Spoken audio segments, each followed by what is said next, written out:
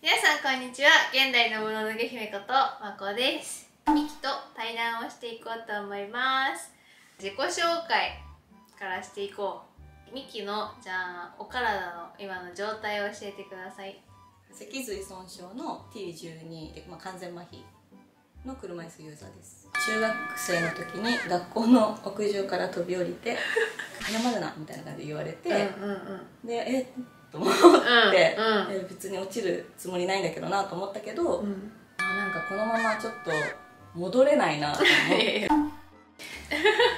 海外に行ってたのは、まあ、会社で10年ぐらい働いていて、うん。でその頃にあのバカンス休暇っていう1週間まるまる休めるのがあって、それとゴールデンウィークをつなげてうん。まるまる2週間お休みいただいて、う親戚が住んでるペルーに旅行に行ったのね。うん。一人で？その時は兄とうんうんうんうん。2人で一緒に行ったんだけど、そしたらもうすごい楽しくて、うん。もう大自然に魅了されて、うん。やばいと思って。でその2週間のバカンスを終えて帰ってきてうん。でその次の年かな1年後ぐらいにうん「ちょっと会社辞めます」って言っうん。て、ちょっと長期間で行きたいなと思って、うんまあ、1年間くらいかな、うん。ペルーで過ごしていました。えそのペルーはだって全然バリアフリーとかっていう感じじゃないうんうんうんでしょ？うんうん。まあ、都会はバリアフリーだったりもするけど田舎の方はもう何にもないし、うんうんうんっていう感じだったけど、住んでたところは親戚の人のお家に住んでた？うん、親戚が観光業とかもやってて、家自体宿としてもやってるの、うんうんうんうんなんか宿として使わせてもらってたって感じかな。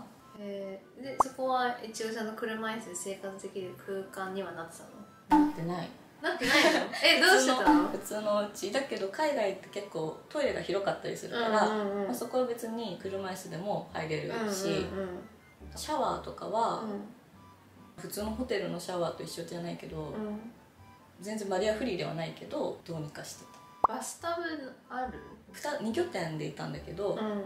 片方の方はバスタブない方ないところうんうんうん。はもうシャワーだから、うん。車椅子から降りて、うん。下で？下で座ってシャワーを浴びるっていうのをうん。毎日やってて、へえでも一つの場所はバスタブがあったからバスタブの中に入ってうんうんシャワーをするっていう感じかな、なるほどね。まあそうかトイレの感覚は授尿自分の腹圧でできます、うんうんうんちも腹圧ででき？は適便。あてきうん、うんうんでも感覚はある。感覚はないそこは、うん。ちはないのうん、下の部分は感覚基本的にはないのよ。でも腹圧で出せるっていうのか。でうんち溜まった感覚は分かななんとなくわかる。指入れてみたらまあちゃんとあるから出すみたいな感じ。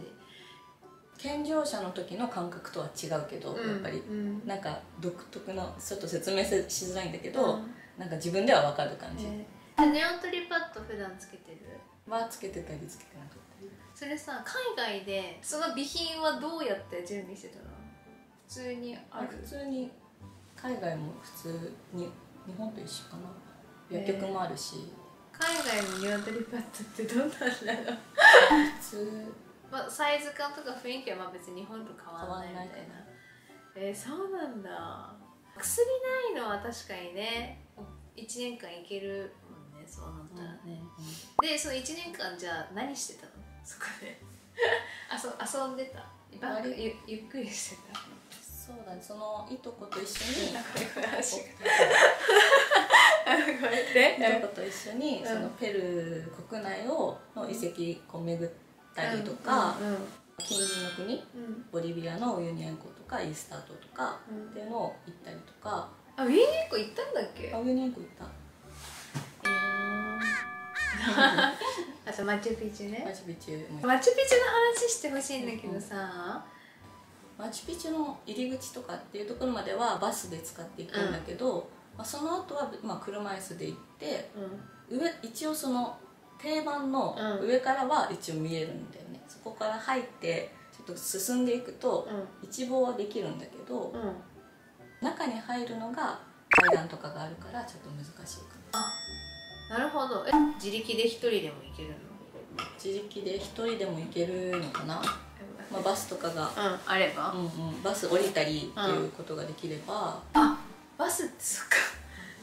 すクールバスみたいなバスか。そうそうそうそう。ああそっかそっか。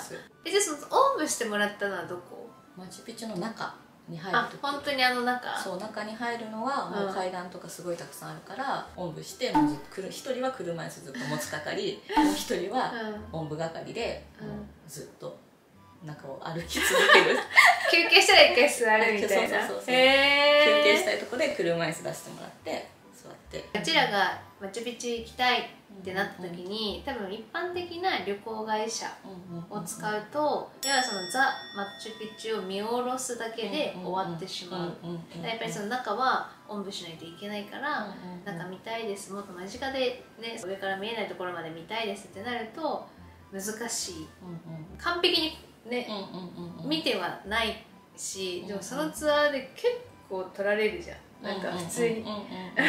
そうだねうんででもそれがだから実際やっぱ高齢者も含めて、せっかく行ったのに見るだけで終わってしまうっていう現状がやっぱあると。まだまだある、個人の旅行会社とかじゃないとうん。本部とかはどうな難しいかもしれない。どうだろう？わかんない。大手の今はわかんないけど。日本の多分うん旅行でそうしようってなったら、介護士とか、うん。その介助してくれる人の資格がちゃんとある人が複数名いた中で一緒に行かないと多分無理ですよって多分なるじゃん、そしたらさマチュピチュ行くだけでさいくら いくらかかるんですかっていうことになるよね、だからそういう部分が車椅子の人たちの旅行海外旅行、まあ普通にホテルでゆっくりするっていうのじゃなくちゃんとした遺跡観光とかは難しい。確かに。そうだね。今後の夢ありますか？でも大きな夢とかそういうのはなくて、本当に。やりたいこと。やりたいことは標高の高い田舎に住みたい。自給自足とかしたいしてみたい、ああそうだ。畑ね。うん。畑やりたいよね、やり発信者としては別にいるわけじゃないの。今一番やってるの今はそのディズニーランドとディズニーそう医療従事者の方とう一緒に行くんうんイベント企画っていうのをやってて、で私はそのトラベルアンバサダーっていう立場でそうなの？そうなの。まあお手伝いさせてもらってる感じなんだけど、その一般社団法人つながりさんのうん。企画の、まあ、うん。プロジェクト、プロジェクトとしてう葵っていうのがあるんだけど、んうん。その葵でやってるのがと医療従事者と一緒に行くそのイベント企画、うん。障害者の方が一緒に行けるっていうものがあるんだけど、うん。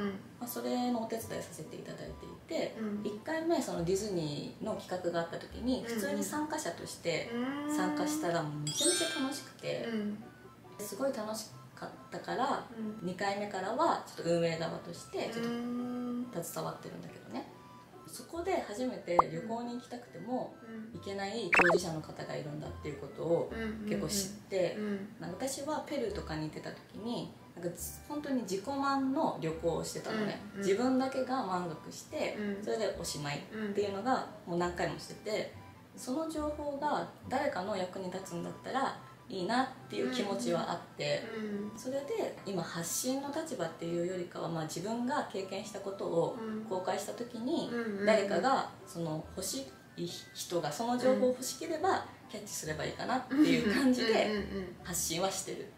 医療従事者と行くメリットの部分としてはどういうところがある？安心感だね。確かなんかうん私もディズニーディズニーランドってうん。普通になんか友達とかとは行ったことはあったんだけど、うん。気にしてないと思いつつも、うん。どこかでなんかこのアトラクション乗れるかなとかさ、トイレあるかなとかさどこかしらで気はこう考えてるじゃん、うん。でもなんかそういうのも一切考えずにうん。医療従事者の人がいるから、まあ、し多分しっかりこう解除してのアトラクション乗せてもらえるなとか、うん不安が一切ない状態で、うん。楽しいっていうとところだけにフォーカスしてうん。遊べるっていうのが本当に楽しいなっていう、安心感かな、上から見ると素敵な景色があるところがあるんだけど、うん階段があって行けない、まあ、ところうん。も抱えてもらって行ってたよね。いやそうそうそうそう。そうよくよく見てくださってますね。ますよ。そうなの。そうそう。だから階段の場所とかも,、もうみんなでひょいってうん。抱っこしてくれたり、うん。車椅子ごとこう運んでくれたりして、うん。自分で来ただけじゃ絶対見れなかった景色とかっていうのは本当見れたし、うんなんかみんなで頑張ったっていう達成感みたいなのもあったりして、うんうんうんうんすごい本当に楽しい。えーこれから USJ そう。いつ？どうぞ。いつ？4月15日。あで出せる出せる。間に合う。えも申し込み？あ申し込みが一旦3月15だったかな。3月 15? もう無理じゃん。無理だね。まあでももうちょっと伸びるかもしれないまあ USJ まあこれからまたあれでしょ、どんどん企画は多分ややっていくはずなので、しディズニーとか USJ 以外の観光地とかもやってくれたら面白い、うんよね今後ねどういう場所にするかはちょっとまだわからないんだけど、うんうん。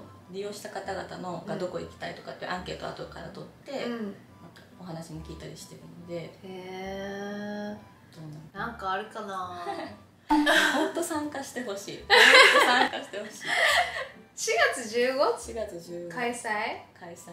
ああ4月7日に行くんだよ USJ あ4月15か。そうだよへねえじゃあ今後のでそういう情報その医療従事者と行く旅楽しもうぜっていうやつは何で発信してるんですか？はインスタグラムで発信してますじゃあインスタグラムの URL を概要欄に貼っておくのでぜひフォローお願いします。ありがとうございます。今後旅行行きますか？今後旅行行きますよ。そしたら載せてくれるんですか？いろんな情報を。うん。行った情報は載せようかなってできる範囲で。あれ？ブログ始めたあブログ始めました。ブログ始めました。何な何でやってるんだっけ？ノート？アメブロ。アメブロ？うんアメブロはちゃんと更新するんですか？更新する予定です。アメブロのリンクも貼っておきますので。フォローフォローフォローよろしくお願いしますね。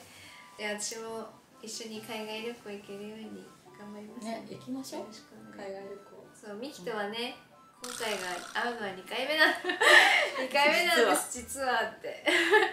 3年前に1回会って初めて会ってで喋ってで旅行行こうねってうんうん組んだの。なんかもうその会った瞬間にはこの人と私は旅行が行けるなと思ったから旅行行こうって時間も結構ある人だったからね。行こうって思ってもうヨーロッパ5か、え？4カ国？四カ国イギリスフランスイタリアスペイうんうんうん。ンをもう回る手はずを全部組んでたの。まあホテルはその行き先々で決めようみたいな、うん。一発目イギリスからスタートするから、うんイギリスのホテルと飛行機だけはあと帰りか。だけは取っておこうっていうので予約をしたの。したんだよ。なのにコロナが始まってしまった瞬間でもうギリギリまで待ったんだよね3月くらいから多分わーってなって、うちらが行くのが5月くらい 4, 4月か5月くらいだったよね、ゴールデンウィーク前に行こうって多分言ってたから、でそれがギリギリまで待ったけどやっぱ怖いよねっつって。なんか「やめた方がいいよね」って言ってもキャンセルしてそっからなかなか私が予定合わず会えずで。今回会いましたが。やっと会いました。コロナコロナ期間中は会わない。会わコロナが明けてから会う関係みたいな。本当そうだね、だからこれからはね海外旅行行けるように一緒に何かできたら面白いね。いやマジでやりたいと思います、国内も含めて、うんうんうん。ということでじゃあアメブロとインスタグラムをチェックよろしくお願いします。お願いします。はいじゃあ閉めますよ。はい。はい、ではこの動画が良かったなと思っていただけたのであればぜひいいねボタンとあとはチャンネル登録をよろしくお願いします。では本日も最後までご視聴ありがとうございました。ありがとうございました